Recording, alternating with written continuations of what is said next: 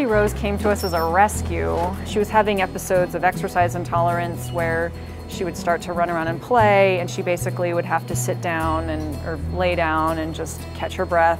Lilly Rose came in with a condition called tetralogy of Fallot, and it's a combination of four different congenital heart abnormalities. So when they start exercising in any way or overexerting themselves, they turn purple, hence the blue baby syndrome in people.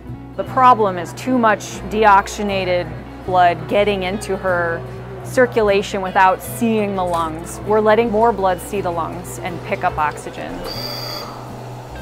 CSU is, is very fortunate that we have Dr. Chris Orton in cardiothoracic surgery, and we have some surgical options. The surgery we did is a classic cardiac surgery, one of the first cardiac surgeries ever done. This surgery basically redirects unoxygenated blood back to the lungs and improves the oxygenation of the blood. We went in between the ribs, specific ones that are directed over the heart and over the specific vessels that we needed to access. And then we isolated the specific branch of the aorta that we wanted to then shunt into the pulmonary artery.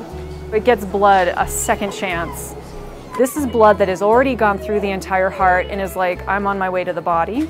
But we're saying, nope, let's take one more spin through the lungs and pick up more oxygen to increase her overall oxygen in her blood.